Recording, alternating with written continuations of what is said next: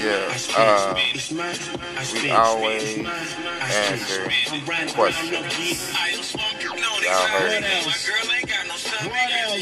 I'ma say it again later.